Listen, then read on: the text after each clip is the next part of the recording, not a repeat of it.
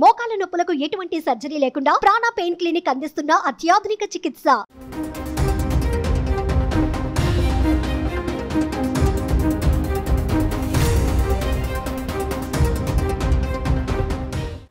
పైకి ప్రజాప్రతినిధి.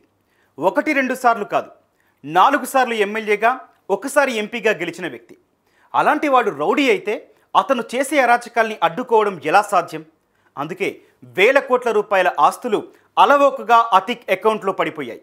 అతడికి చావు బాజా మోగించడంతో ఆ ఆస్తుల లెక్కలు తీసేందుకు ఈడీ ముందుకు కదిలింది.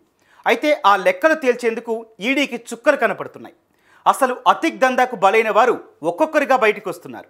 ఈడీ ముందు తమ గోడు వెళ్ళబోసుకుంటున్నారు. ఎక్కడ ఆస్తులకు విపరీతమైన వాల్యూ ఉంటుందో అక్కడ అతిక్ మనుషులు వాలిపోయేవారు. బెదిరించో భయపెట్టో వాటిని తక్కువ ధరకు కొనేసేవారు. గవర్నమెంట్ స్థలం కనపడితే చాలు. దాన్ని కబ్జా చేసేసేవారు. ఆయన ఎమ్మెల్యే కాబట్టి ఇదేంటని అడిగే ధైర్యం అధికారులకు ఉండేది కాదు. దీంతో అతిక్ అవినీతి సామ్రాజ్యం ఇంతింతై ఎదిగింది. వటుడింతై అన్న తీరులో రెక్కలు చాచింది.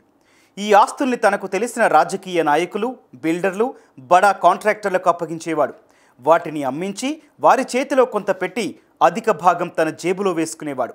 అచ్చం సినిమాల్లో మాఫియా డండ్ల తరహాలో సాగిన అతిక్ అరాచకం ఆయన్ను వేల కోట్ల రూపాయల ఆస్తులకు అధిపతిగా మార్చేసింది. ప్రయాగ్రాజ్లో ఇతని అరాచకాలకు బలైన ఎందరో కోటీశ్వరులు కాసుకు కొరగాని వారుగా తయారయ్యారు. అదేంటని అడిగితే ఎక్కడ ప్రాణాలు తీసేస్తారో అని భయపడి మిన్నకుండిపోయేవారు. అతిక్ మరణం తర్వాత వారు ఒక్కొక్కరిగా బయటికొస్తున్నారు.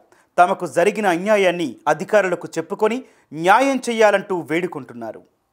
ఓవైపు ప్రజలను ఇలా అల్లాడించిన అతిక్ మరోవైపు గవర్నమెంట్ కాంట్రాక్టులు పవర్ ప్లాంట్లతో పాటు రైల్వే కాంట్రాక్టులను ఏకపక్షంగా దక్కించుకునేవాడు. తనకు పోటీగా ఎవరైనా టెండర్ వేస్తే వారి బతుక్కు ఏమాత్రం భరోసా ఉండేది కాదు. ఇతని అరాచకం ఏ స్థాయికి పెరిగిందంటే ఏకంగా ఇందిరాగాంధీ వంశానికి చెందిన వెరా గాంధీ అనే వృద్ధురాలని కూడా బెదిరించి ఆమె ఆస్తిని సొంతం చేసేసుకున్నాడు. ఈ విషయం అప్పటి యూపీఏ చైర్మన్ సోనియా గాంధీ ప్రధాని Manmohan Singh Lok Sabha speaker Somnath Chatterjee UP CM Mulayam Singh యాదవ్కు లేఖలు రాసి తన గోడు వెళ్ళబోసుకుంది అప్పటికి అతీక్ ఎంపీగా ఉండేవాడు. సోనియా గాంధీ ఈ విషయాన్ని వ్యక్తిగతంగా తీసుకుంది. ఈ సమస్య పరిష్కరించే బాధ్యతను యూపీ కాంగ్రెస్ అధ్యక్షురాలు రీటా బహుగుణ జోషికి అప్పగించింది. మరోవైపు పీఎంఓ కూడా ఈ కబ్జా వ్యవహారంపై దృష్టి పెట్టింది. ఎంతమంది యోధాని యోధులు కల్పించుకోవడంతో అతీక్ వెరా గాంధీ ప్రాపర్టీ నుంచి వైదొలిగాడు. ఇలా చెప్పుకుంటూ పోతే ఎన్నో అరాచకాలు. రోజుకు కొన్ని కోట్ల రూపాయలు అక్రమంగా సంపాదించిందే అతిక్ నిద్రపోయేవాడు కాదు. రెండు వేల పద్దెనిమిదిలో అతిక్ డియోరా జైల్లో ఉండేవాడు. జైల్లో ఉండి కూడా తన నేర సామ్రాజ్యాన్ని యథావిధిగా కొనసాగించేవాడు. ఆయన జైల్లో ఉండే టైంలో ఆయన కొడుకులు ఈయన తరపున దౌర్జన్యాలు చేసేవారు. ఆ సమయంలో మోహిత్ జైష్వాల్ అనే ఓ వ్యాపారవేత్తకు సంబంధించిన ఆస్తి మీద అతిక్ కుటుంబం కన్నేసింది. ఆ ఆస్తిని నామమాత్రపు విలువతో కొనేసేందుకు ప్రయత్నించింది. అయితే అమ్మేందుకు మోహిత్ నో చెప్పడంతో అతిక్ ఆదేశంతో అతని గ్యాంగ్ ఆ వ్యాపారిని కిడ్నాప్ చేశారు. అతడిని ఏకంగా జైల్లో ఉన్న అతిక్ ముందు నిలబెట్టారు. తీవ్రంగా కొట్టారు. బెదిరించి మరీ అతని నలభై కోట్ల ఆస్తిని అతిక్ రాయించేసుకున్నాడు ఈ దౌర్జన్యంపై మోహిత్ కేసు పెట్టాడు కానీ ములాయం సింగ్ యాదవ్ ప్రభుత్వంలో ఆ కేసు అరడుగు కూడా ముందుకు కదలలేదు. ప్రభుత్వం మారిన తర్వాత ఆ కేసు విచారణ జరిగింది. ఇందుకు సంబంధించి డియోరా జైలుకు చెందిన కొందరు అధికారులను సస్పెండ్ చేసింది. అతిక్ మీద అతని కుమారుడు ఉమర్ మీద కేసులు నమోదయ్యాయి. ఉమర్ను పట్టుకొచ్చి లోపలేశారు. ఒక్క ప్రయాగ్రాజ్లోనే కాదు ఉత్తరప్రదేశ్ రాష్ట్రంలోని కరేలీ ధూమన్గంజ్ కొత్వాలి పురా ముఫ్తీ ఖులాదాబాద్ పిపారి వంటి ప్రాంతాల్లో అతిక్ భారీగా భూకబ్జాలకు పాల్పడ్డాడు. సూరజ్ కలి అనే మహిళ కుటుంబానికి చెందిన సుమారు రెండు పాయింట్ నాలుగు ఎకరాల భూమిని అతీక్ గ్యాంగ్ కబ్జా చేసింది. దీనికి అడ్డుగా నిలిచినందుకు ఆమె భర్త బ్రిజ్ మోహన్ను కిడ్నాప్ చేసింది. అతడి ఆచూకీ ఇప్పటి వరకు తెలియదు. అతను బతికున్నాడో లేదో కూడా పోలీసులు కనుక్కోలేకపోయారు.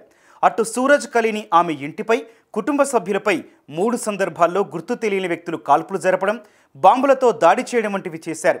ఇలా ములాయం సింగ్ యాదవ్ అధికారంలో ఉన్న సమయంలో అతిక్ చేసిన అక్రమాలు అన్నీ ఇన్ని కావు. అందుకే అతిక్ మీద సుమారు వంద పెద్ద పెద్ద కేసులున్నాయి. యోగి ముఖ్యమంత్రిగా బాధ్యతలు చేపట్టిన తర్వాత అతిక్ కుటుంబం అరాచకాలకు కాస్తంత అడ్డుకట్టపడింది అతిక్ కబ్జా చేసిన గవర్నమెంట్ స్థలాల మీద అధికారులు దృష్టి పెట్టే పరిస్థితి సాకారమైంది.